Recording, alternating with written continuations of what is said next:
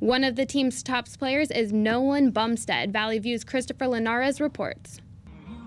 Nolan Bumstead is in his second season as a Matador.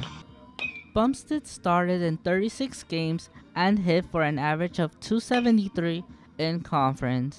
In just his second year, he has become a centerpiece of the Matadors offensively as well as defensively at third base. He is now the third base starter and continues to practice his fundamentals at third base. I like to take a lot of ground balls. I, I try I take pride in my defense and it's something that I I need to work on still and, and I'm continuing to work on it. But uh, that's definitely one of my staples when I practice. His teammates like catcher Clayton Hubbard say Bumstead is critical to the team's success.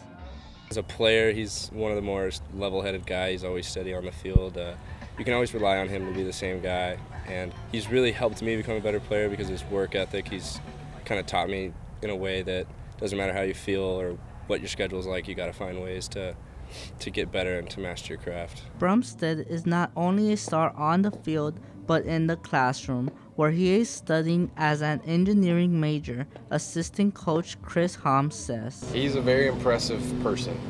Just the workload that he takes on, he he has engineering classes, he has almost a 4.0 in all of his engineering classes, and he's one of the captains of our team. So he's he's just a very impressive person. Just the fact that he he puts so much on his plate and comes in and always delivers what he is expected to do and what he promises he's going to do.